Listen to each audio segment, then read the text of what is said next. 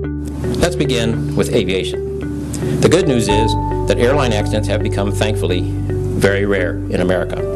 The bad news is that the fatal accident rate in general aviation, the aspect of aviation that many people are not familiar with, has been stubbornly resistant to improvement for many years. The worst single cause of general aviation fatal accidents has been loss of control in flight, inadvertent spins and stalls, which has taken more than 1,200 lives from 2008 to 2014. We are again pushing for better pilot training, currency, self-assessment, and more vigilant situational awareness aided by improving technologies such as angle of attack.